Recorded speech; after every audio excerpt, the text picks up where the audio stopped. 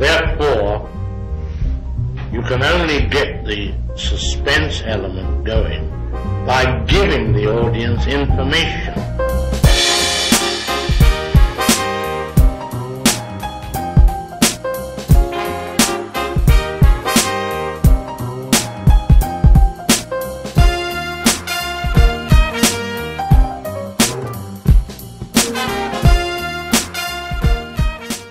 It's kinda hot out here for a pimp. It's pretty hot out here today. Shoot, out here in the streets. Whee! Zen Dude Nation, before you even get into this video, can I just thank each and every one of you for being a part of this community? This community is nothing without you, so thank you again, and let's get into the video. I don't know about you, but when I used to travel and get outside my normal routine, I was completely overwhelmed by thinking about how am I gonna get my workout in, what gym am I gonna go to, what workout am I gonna do? It was just a lot, and because it was a lot, sometimes a week would go by and I wouldn't exercise at all. And because it seems so overwhelming, sometimes it is easier just to be like, you know what, forget it, I'll wait till I get back home, then I'll get back in my program then. Nuh-uh, nuh-uh, uh, uh, uh, no, no, no, no, no, no, no, no, no, no, no, no, no, no, no, no, no. So instead, what we want you to do is follow these simple steps we're about to give you to make working out a normal part of your travel routine.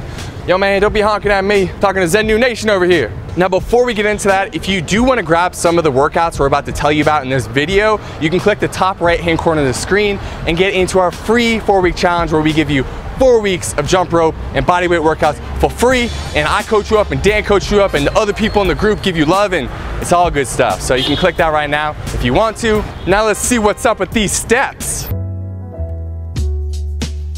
Step number one, do not overextend yourself when you are traveling. You might just be the kind of person that when you're back home and you're in your normal routine, you do yoga five times a week and you do weightlifting six times a week and you jump rope three times a week and you have all this stuff that you do when you're traveling, make it simple. Don't overextend yourself. Commit to working out on 60 to 70% of your travel days and only working out for 15 to 20 minutes each session. Now, does that mean you have to cut it short if you're loving life and you're just moving your body and it's awesome? No, but we're saying 15 to 20 minutes needs to be a budget you put together for your workouts while you're traveling on the road. Step two goes to the people who are really, really busy when they're traveling. And for those people, I say try to make your workout a part of your normal travel routine. So hear me out on this one. That means if you're in New York City, for example, you might have to be traveling and walking all over the city. Don't try to overextend yourself. If you are walking five to 10 miles a day, that's cool. That's your workout while you're traveling for that day. Now, if you're not walking around a lot, try to find a way to move your body that fits in with whatever meetings or things you have set up around a city or a place you're visiting. So if you're gonna work or you have a meeting somewhere specifically, map out and try to find a park nearby. If there's a park nearby, you can just walk over five, 10 minutes after your meeting or after you get done working, and you can go get 15, 20 minutes of jump rope or anything else you wanna do while you're there. Speaking of jump rope, if you do want a jump rope workout you can do in parks, I would click the button in the top right hand corner right now because we have one for you. So open it in a new tab and uh, you can do that next time you're traveling. Step three, get it done early. Here's the thing, energy is a finite resource. If you have so much going on, a whole whirlwind of stuff throughout the beginning of your day, by the time you get to like 7 or 8 p.m. when you're trying to like turn off mentally, you're not gonna have the energy to work out. So use this finite energy, get it in early. Do it before you even start your day, maybe in the morning before you even leave to go do whatever business or whatever obligations you have for the rest of the day, or break up your day by doing it before lunch so you can move your body and if you follow some of the stuff we talk about when it comes to intermittent fasting, you can break your fast after your workout with your lunch. Is that to say you can't work out later in the day? No, but I'm trying to make this easier for you. Energy is a finite resource and if you have a hard time working out when you're traveling, then don't leave it till the last minute, all right? Make sure that you're scheduling it in, you're budgeting it in earlier in your day.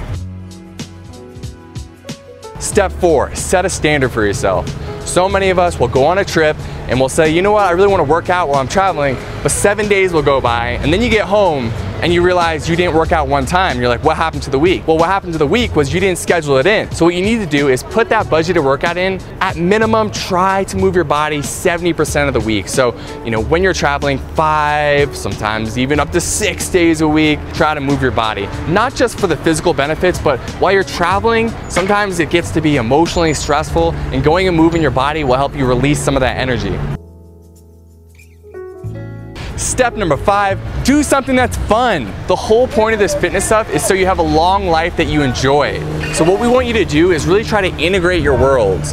Find a way to make moving your body integrate with the travel you already have to do. Awesome ways to do this are exploring the cities or new places that you're going to.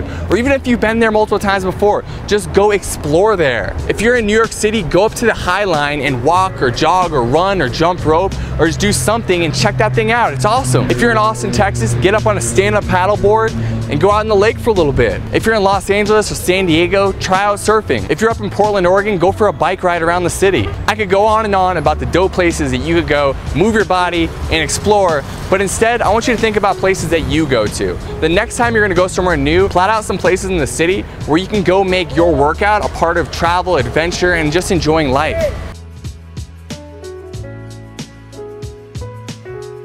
All right, Zen Dude Nation, if you like this video, make sure that you give it a like and comment below if you have any questions. And of course, subscribe to the channel. A little screen is gonna come up in a second. It's gonna be like, yo, click me, click me. So if you're not subscribed, subscribe. You'll get access to all the other videos as they come out. And finally, tell your friends. Again, like I said in the beginning of the video, we could not be more appreciative of this community.